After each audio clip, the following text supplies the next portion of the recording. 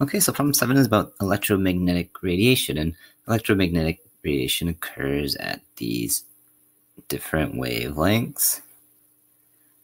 Right, and so we have uh, the visible spectrum sort of roughly in the middle, and that's where you get your nice little rainbow.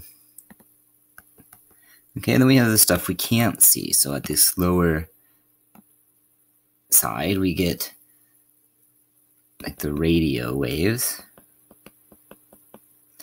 And then we have these more energetic waves with the shorter wavelengths, right? And so these ones, these are going to be our UV rays, our X rays. And it's these high energy, the high energy of these ones is what allows them to actually penetrate tissues and damaged cells. Right? So it sort of is uh, why an x ray technician will go hide in a room while they take the x rays, because being exposed to these high energy waves over and over and over again will cause ultimately uh, some damaged tissue.